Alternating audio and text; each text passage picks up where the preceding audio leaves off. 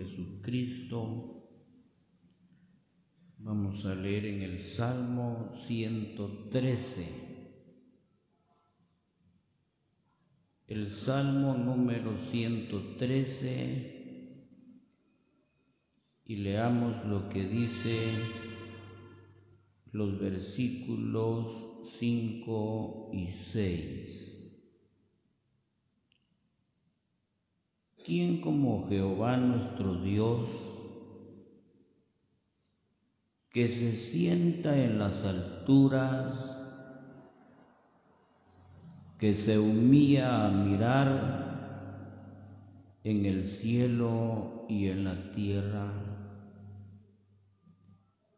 Amados hermanos y hermanas, en esta noche le damos gracias al Señor por concedernos esta gran bendición para estar aquí delante de su presencia divina.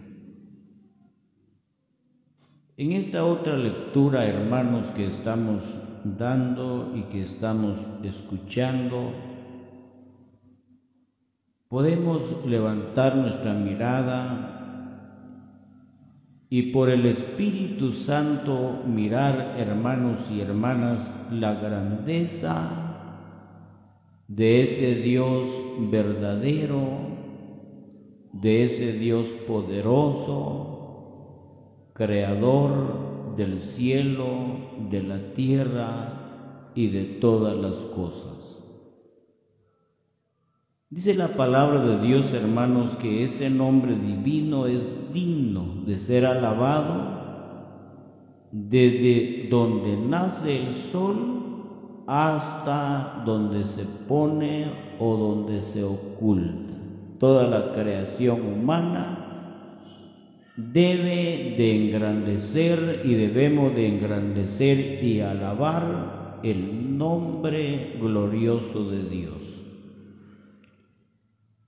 Pero siendo Él tan grande como dijo Job, he aquí que Dios es grande. Él es poderoso. Y la palabra de Dios dice, hermanos, que es el único Dios vivo. Pero dice aquí la palabra de Dios que Él se sienta en las alturas, hermanos, y se humilla para mirar en el cielo y en la tierra. Se humilla para mirar en el cielo y en la tierra. Oigamos lo que dice el versículo o el salmo número 14. Miremos lo que nos dice este otro texto de la palabra de Dios. Versículo 2. Jehová miró desde los cielos sobre los hijos de los hombres para ver si había algún entendido que buscara a Dios. Pero ya lo que vio Dios está en el versículo 3. Todos se desviaron. Aún se han corrompido no hay quien haga lo bueno, no hay ni, no hay ni siquiera uno. Dice la palabra de Dios, hermanos, que ese Dios poderoso, soberano, se queda mirando, hermanos, desde su magnífica gloria, desde el cielo Inclina su mirada, se humilla para mirar, dice, en la tierra, pero ¿qué mira en la tierra? La mirada de Dios, hermanos, sobre la tierra, dice aquí estamos mirando que se quedó mirando Dios sobre esta creación humana, sobre la obra que hicieron sus manos preciosas, sus manos divinas si dice la palabra de Dios, hermanos, que cuando Dios terminaba cada obra, dijo Dios, miraba a Dios que era bueno, hizo la luz y miró que era buena la luz y así todas las obras, ¿cuánto más Cuando Dios formó al hombre, hermano, dice la palabra de Dios que tomó del polvo de la tierra, le dio forma, hermanos, le dio forma. Y cuando ya estaba formado el hombre, sopló en su nariz aliento de vida y fue el hombre un ser viviente. Con las manos de Dios, como dijo Job, tus manos me formaron, tus manos me hicieron. Y ahora cuando ya estaba formado Adán, sopló en su nariz aliento de vida, le dio el espíritu y el alma, y fue el hombre un ser viviente. El deseo de Dios, hermano, de haber formado al hombre esperando una alabanza, una adoración, una exaltación del hombre hacia Dios. Pero Isaías escribió, hermanos, dijo el profeta Isaías en el capítulo 53, versículo 6, todos nosotros nos desviamos como ovejas, cada cual por su cada cual se apartó por su camino, haciendo su propia voluntad, su propio deseo. Pero lo que estamos mirando en la palabra de Dios, que cuando Dios miró a la creación humana, hermanos, qué tristeza le dio a Dios, hermano. Dice la palabra de Dios que le dolió en el corazón porque Él no hizo una obra mala, hermanos.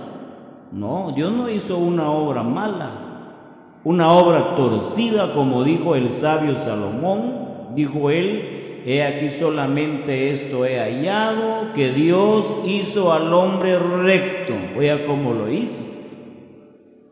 Dios no hizo a un hombre con vicios, a una mujer con vicios, con inclinaciones a lo malo, no. Dice la palabra, Dios hizo al hombre recto, pero ellos se buscaron muchas perversiones.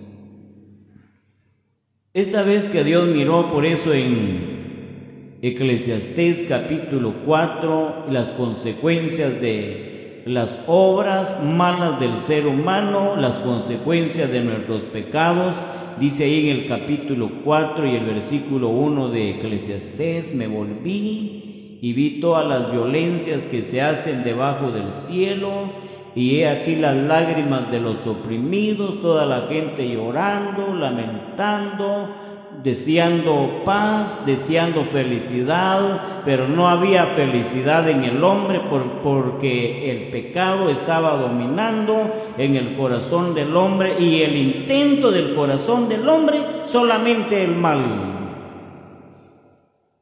Le dolió a Dios en su corazón, hermanos y hermanas.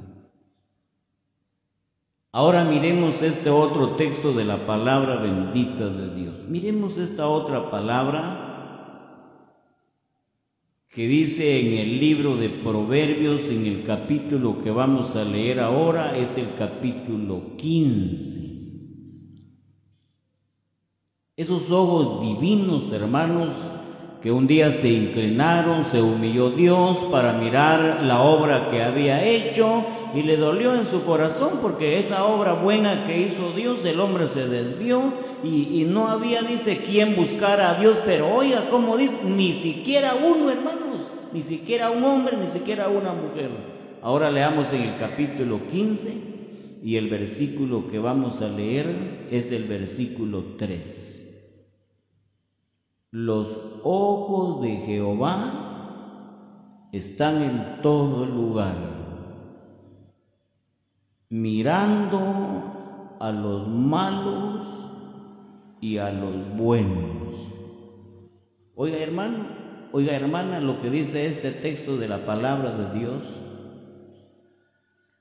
Los ojos de Jehová están en todo lugar Dice que el sol, hermano, no puede alumbrar la tierra al mismo, al mismo, a la misma hora, al mismo tiempo, toda la tierra, no.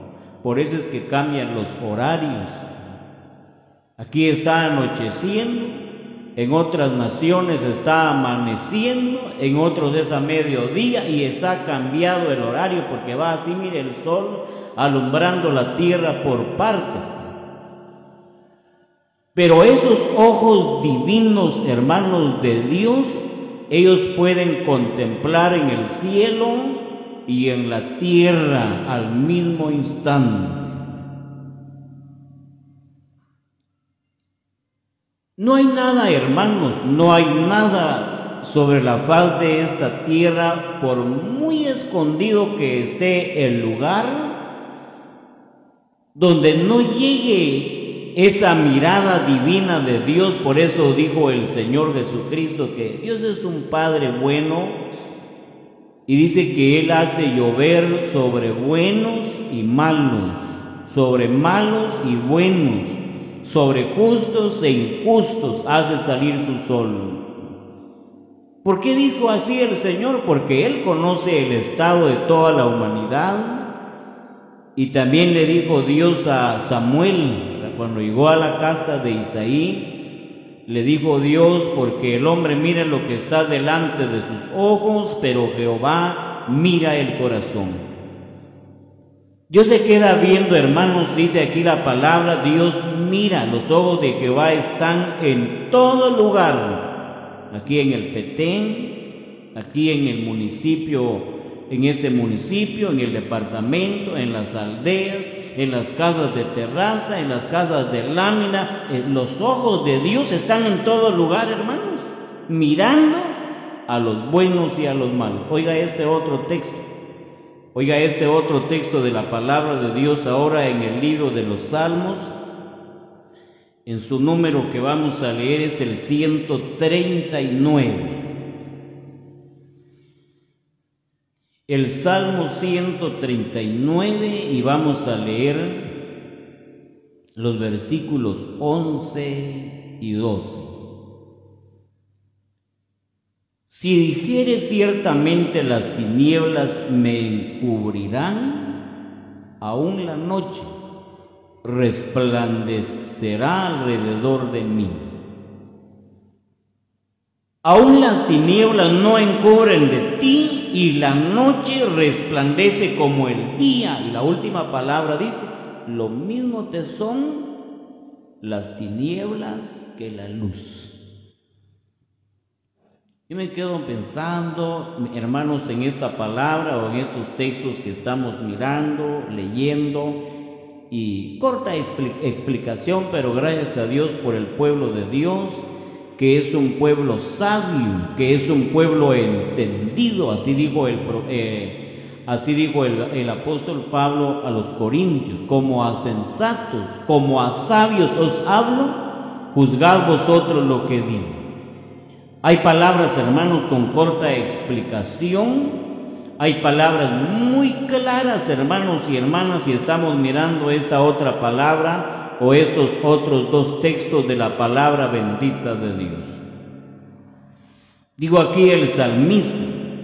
El salmista David le dijo a Dios en este cántico, en este salmo, le dijo a Dios, tú conoces mi sentar, tú conoces mi levantar, tú conoces mis pasos, donde he caminado, cada paso que damos, hermanos, los conoce Dios y, y dice y expresa, porque ellos llegaron, hermanos, ellos fueron inspirados por el Espíritu Santo para dar a conocer el poder de Dios, hermanos. Y dice en estas palabras, Dice, dice en estas palabras que estamos leyendo, si dijeren las tinieblas me encubrirán, aún la noche resplandece alrededor de mí. Ya en la última palabra del, del versículo 12 dice, para Dios lo mismo es mirar de día sobre la tierra y lo mismo de noche, porque para Dios resplandece todo y de sus ojos divinos, hermanos, no hay nada que se pueda esconder. Somos humanos, ¿verdad, hermanos? Y cometemos faltas, errores. Y se ha dado cuenta usted que cuando cometemos nosotros algún error en nuestra vida, ¿qué es lo que tratamos de hacer? Nosotros tratamos la manera de escondernos de los hermanos, que no se den cuenta los hermanos, que no me miren, que no me miren los hermanos. Le tenemos miedo a los hermanos, le tenemos miedo a los hermanos y no, y no le tenemos miedo a Dios que Él nos está mirando, hermanos que Él nos está mirando y que no hay nada que se esconda de los ojos divinos de Dios. Y, dijo, y dijo el rey David a su hijo Salomón, ¿sabe cómo le dijo? Y tu hijo Salomón le dijo, vas a servir al Dios de tu padre, pero sírvele con corazón perfecto y con ánimo voluntario, porque Jehová escudriña la mente y el corazón de todos no solamente mira a Dios lo que usted hace, lo que yo hago, sino que mira a Dios, hermanos, lo que nuestros pensamientos, porque dice la palabra de Dios que los pensamientos salen del corazón del hombre y del corazón del hombre salen buenos pensamientos y salen malos pensamientos también, hermanos, y todo lo mira a Dios, hermanos, todo lo sabe Dios, hermanos. Dice aquí la palabra de Dios, para Dios lo mismo es las tinieblas y lo mismo son la, luz, lo mismo es el día, lo mismo es la noche, lo que usted haga en el día, lo que usted haga en la noche, por muy escondido que usted siente que se encuentre, Dios lo está mirando, hermano, Dios la está mirando. Y estamos mirando estos textos de la palabra de Dios porque Dios le dijo a Moisés, hermano, le dijo Dios a Moisés, reúneme al pueblo para que yo les haga oír mis palabras, las cuales aprenderán para temerme todos los días que vivieren sobre la tierra, para temerle a Dios. Por eso es muy importante leer la palabra de Dios, es muy importante oír la palabra de Dios, porque a través de leerla, de oírla, vamos aprendiendo nosotros a tenerle miedo a Dios, hermanos. Vamos mirando algunas cosas, hermanos, que desconocemos o muchas cosas que desconocemos, hermanos. Y porque nosotros desconocemos que la mirada de Dios está sobre nosotros y por eso nos escondemos de los hermanos, de los hombres, del ser humano, sin saber que no nos podemos esconder de Dios, hermanos. Oiga este otro texto de la palabra de Dios. Miremos lo que nos dice aquí el escritor a los hebreos, vamos a leer en el capítulo 4. Oiga, y vamos a leer el versículo, es el 13. Dice aquí la palabra de Dios en el versículo 13. Y no hay cosa creada que no sea manifiesta en su presencia. Manifiesta es que se dé a conocer, que se mire, antes bien todas las cosas están desnudas y abiertas a los ojos, a esos ojos divinos, hermanos, a esos ojos divinos de Dios. De aquel dice a quien tenemos que dar cuenta. Oiga hermano y oiga hermano. Oigamos lo que nos dice la palabra bendita de Dios. Lo que estamos leyendo y estamos mirando que ese Dios soberano se sienta en las alturas, se queda mirando en el cielo, los seres celestiales, hermanos, se inclina, inclinarse es agacharse, porque Él está en las alturas y se inclina y se queda viendo sobre toda la humanidad. Se queda viendo a los buenos y a los malos. Se queda viendo quién está buscando a Dios y quién no le está buscando. Está viendo quién le sirve a Dios y quién no le sirve. Está viendo quienes solo vienen y, son hermanos solo cuando están aquí dentro de la sala y ya afuera nos portamos como, como se porta la gente inconversa, incrédula. Dios todo lo está viendo, hermanos y hermanas, y ahora estamos mirando. Para Dios, hermanos, no hay nada que se esconda, ni de día ni de noche ni en ningún lugar no hay nada que se esconda de esos ojos divinos y estamos viendo aquí, mire, y no hay cosa creada que no sea manifiesta en su presencia, antes bien, todas las cosas, todas las cosas, oiga hermano, todas las cosas, por muy pequeño, por muy insignificante o por muy grande que sea, todas las cosas están abiertas, están desnudas y abiertas a los ojos de aquel a quien tenemos que dar cuenta. Oigan, hermanos y hermanas. Por eso mejor tengámosle miedo, tengámosle temor a Dios y no a los hombres. Miremos lo que nos dice este otro texto de la palabra de Dios. Miremos, miremos también este otro palabra, dice ahora en el Salmo 101. En el Salmo número 101. Vamos a leer el texto 6.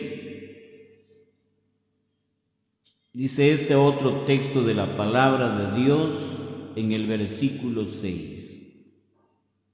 Mis ojos pondré en los fieles de la tierra para que estén conmigo. El que ande en el camino de la perfección, éste me servirá. Oiga lo que oigamos, hermanos, lo que dice Dios, hermanos, lo que dice Dios. Dice aquí la palabra de Dios, yo estoy viendo, dice Dios, yo me quedo mirando, él puede mirar todas las cosas al mismo tiempo, de día y de noche, por muy minucioso, por muy pequeño, Dios todo lo mira. Dios mira el corazón, Dios mira los pensamientos del hombre, Dios mira y Él conoce todas las cosas. Y sabe también que dice la palabra de Dios, hermano y hermana. Dice que dice la palabra de Dios que Él sabe lo pasado, que Él sabe lo presente y que Él sabe lo futuro. Todo lo sabe Dios, hermanos. Y ahora estamos mirando esta otra palabra y dice, mis ojos pondré en los fieles de la tierra, en los fieles de la tierra, para que estén conmigo. ¿Se acuerda usted, hermano, cuando fue el Señor a orar y pasó la noche orando a Dios? Después de haber orado toda la noche, entre toda la multitud habían miles de personas que le seguían, pero entre toda la multitud solo llamó a doce hombres para que estuvieran con él. Fueron escogidos, fueron elegidos entre toda la multitud, hermanos, porque dice aquí la palabra de Dios, mis ojos pondré en los fieles de la tierra para que estén conmigo. Y oiga, y el que ande en el camino de la perfección, este me servirá. ¿Qué es, hermanos, andar en el camino de la perfección? Andar en el camino de la perfección es ir mejorando cada día nuestra forma de vivir, hermanos. Caminar en el camino de la perfección es estar mejor que ayer, y mañana estar mejor que hoy, así mejorando nuestra forma de vivir, hermanos, delante de Dios y delante de los hombres, hermanos y hermanos, que cada uno de nosotros a esforzarnos para ir caminando en el camino de la perfección. Y dice aquí la palabra de Dios, en los pies de la tierra van a estar conmigo y el que ande en el camino de la perfección, éste me servirá. Miremos este otro texto de la palabra de Dios ahora en la primera carta que escribió el apóstol Pedro en el capítulo 3. Primera carta que escribió el apóstol Pedro en el capítulo 3 y vamos a leer el versículo 12. Miremos lo que nos dice este otro texto de la palabra de Dios porque los ojos del Señor están sobre los justos y sus oídos atentos a sus oraciones. Pero el rostro del Señor está contra aquellos que hacen el mal. Oigamos lo que dice el Espíritu Santo en esta palabra. Esta noche, hermanos, y hermanas, con la ayuda de Dios hemos mirado, hemos leído estos textos de la palabra de Dios. Lo que no logramos explicar, usted con la ayuda de Dios y por el Espíritu Santo puede leerlos, repasarlos, meditarlos y a ver qué más le va a regalar el Señor en esa lectura de la palabra de Dios, hermanos, porque hay muchas bendiciones al mirar esos textos de la palabra de Dios y ahora estamos mirando. Mis ojos pondré, dijo Dios, en los pieles de la tierra para que estén conmigo. y el que anda en el camino de la perfección, el que se esfuerza para ir mejorando cada día su vida, dejando las cosas que no le agradan al Señor, e ir mejorando para acercarnos y acercarnos más al Señor, este me servirá, dijo Dios. Pero ahora tenemos aquí otra bendición. ¿eh?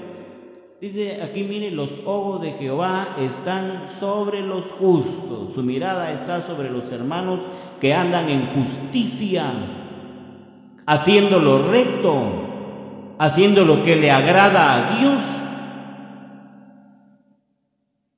Sus ojos están sobre los justos y el oído de Dios atento. Oiga, hermano, no quisiera usted que, usted vaya a orarme. Usted se hinque unos sus cinco minutos, diez minutos, una su hora de oración con gran necesidad, pero, pero que usted siente el deseo que lo atienda Dios, que me atienda. No desea usted o solo queremos orar y ah, solo porque hay que orar y como una costumbre. No, nuestras oraciones, hermanos, que vaya en nuestro corazón ese anhelo que lo que Dios atienda nuestras oraciones, hermanos.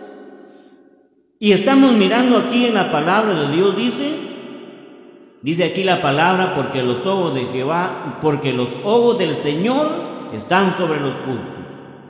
Y sus oídos es una bendición y sus oídos atento a sus oraciones, atento a como oró Daniel. Dice que Daniel, hermanos, propuso en su corazón buscar a Dios en oración y con el propósito que hizo Daniel, vino la orden y le vinieron a decir, ya la orden, ya la respuesta está Daniel. Desde el día en que propusiste a buscar a Dios, fue dada la orden para darte lo que ibas a pedir. Oye, hermano, en cambio nosotros va de orar y va de orar y no hay respuesta. No hay respuesta.